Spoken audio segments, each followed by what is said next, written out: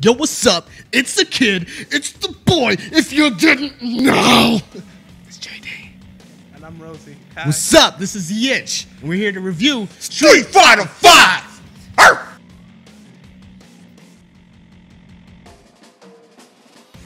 So what is Street Fighter V? Street Fighter V is the uh, latest release from Capcom. Uh, it is the latest installment as well, not chronologically. We'll get to that in Street Fighter, but it is. Um, it, it just recently came out for PS4 and PC Oh, for that joint community-ish. yeah. I cross screen? Yeah, it's cross uh, cross platform. Cross platform. Yeah, That's wonderful. Um, so Street Fighter Five takes place between Street Fighter Four and Street Fighter Three in the storyline. So um, I guess they they did this to kind of be able to tap into Street Fighter Four guys and some Street Fighter Three uh, characters. Open that pool up. Yep. So like you're getting Urien, we're getting Alex. So we're gonna get some I pretty. can't wait for Alex. Yeah, yeah. This month or next month, yeah. So we're getting some pretty some pretty neat characters. Gameplay wise, and this is kind of the bulk of the video. Uh, the game is essentially a, you know a simple uh, Street Fighter uh, version of Street Fighter. So if you played Street Fighter 3, you probably feel more at home because the game is a little bit more faster paced than 4. It, Um, yeah. I'm so excited. so you have access to uh, what's called the V skills. And V skills are kind of like if anyone's played Injustice, they're that unique trait ability that that character has. Like Ryu's able to counter, uh, Nash can absorb projectiles and get meter from them. Um, Bison, I forgot what his was. Laura allows her, uh, allows her to like dash forward and back and do overheads, stuff like that. And in using this, shut up. In using, I'm not gonna say it. In using this V, so I just wants me to say that she's endowed, and she is. Um, yeah, she's quite the quite the Kirby one. but she's my character, and I can't talk bad about her. But Quite pretty. shut up. In doing your V skill, which is kind of what the character is based around, you get um, you get build meter for your V trigger. And your V trigger allows you to do uh, a more amplified version of that character's trait. So like Ken, his his legs sort of go on fire, and he has like more range on his attacks and stuff like that. Yeah, moves. yeah. So like even his light sure you can will light someone on fire. Uh, Laura has more access. Uh, her her dash back and forth are much further, and her uh, lightning attacks charge up faster. It's like that with every character. So um, the game is pretty much based around that kind of building the, the V skill and stuff like that. You also have access to what's called V reversals, which are alpha counters essentially. If you Oh. played Street Fighter Alpha, um, anytime someone's hitting on you too hard, you can spend one uh, bar of meter, uh, and then you knock them off. Oh, okay. Great. I Yeah. could I could have used that during the stream. Yeah, so it forces players to yeah, it forces players to have a, a greater sense of uh, wherewithal, being like, okay, hey, I can knock this guy, or this guy can knock me off of him, so I better pay attention to how I approach him. Okay. So it's a thinking man's game, son. okay, I can think. Um, the game is is All right. uh, according to uh, I guess uh, Street Fighter 4 enthusiasts, uh, more simplified. Yeah. But I think that's probably its benefit. That yeah, it takes because you then to you the get more days. people to jump in. Yeah. Not too people afraid of the game. Well, it's it's really a fundamentalist game. So if you have uh, good defense, good offense, and you know, kind of like uh, situational awareness, you're gonna really be able to, to thrive in this game. How many characters are in this game? There's 16 uh, with uh, by the end of this year, 22. There's 16 So- currently? Yeah, there's 16. There's four newcomers. So you got Necalli, Laura, Rashid, and Fang, and they're all unique in their own right. And then you have a couple characters from Alpha, like Karin and uh, Nash, who plays a little bit differently. Is not a charge character. And then um, Okay. you get you get other characters like uh, Chun Li, mainstays: Chun Li, Cammy, Ryu, uh, Dawson, Gief, the boy Gief. Gief. Yeah, No Blanca.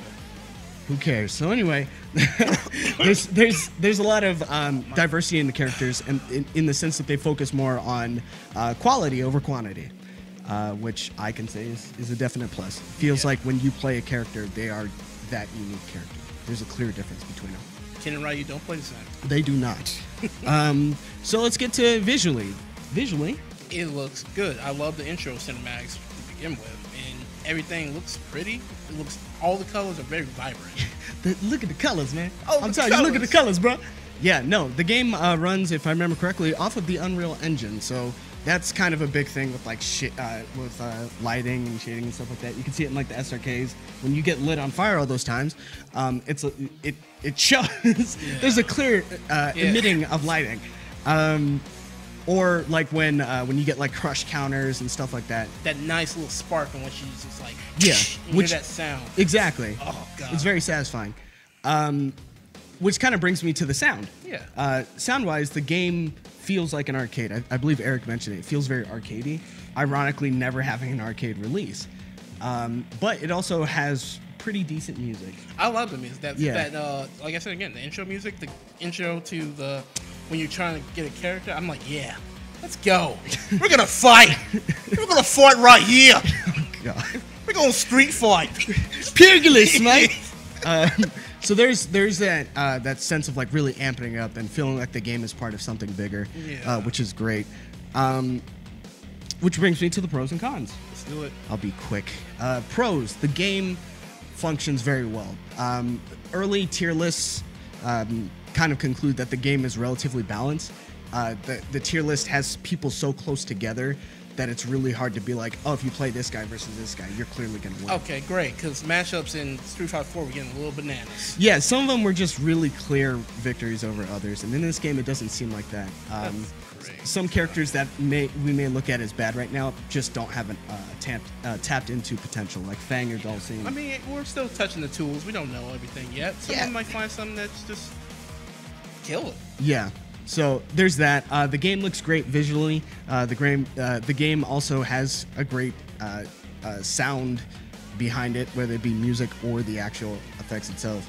Um, for pros, not necessarily mine, but thinking of the community, um, there isn't really an emphasis on a single player.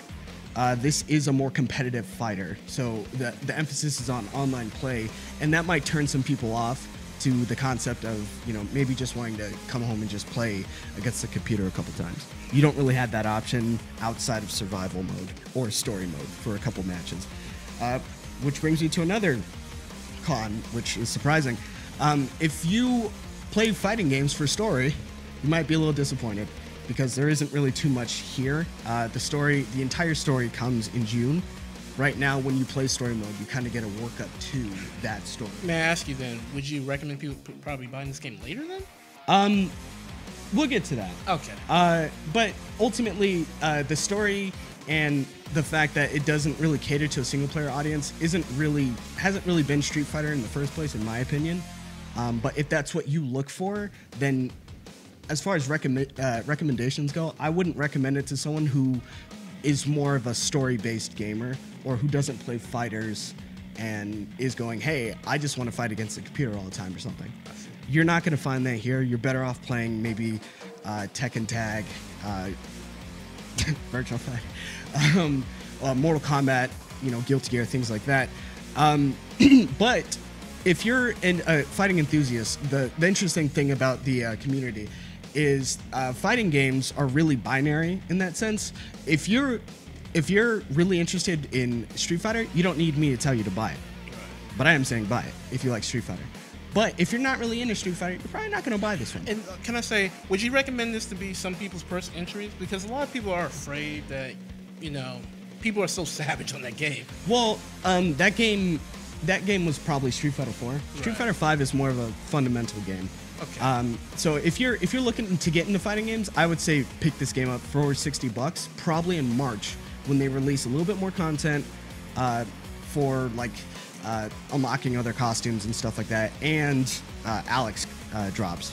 But if you're really waiting to jump into it, get it now. Who cares? yeah. Um, I don't see any reason why you shouldn't, and I don't really understand the controversy. Oh, I, I do. I, there's no Blanca.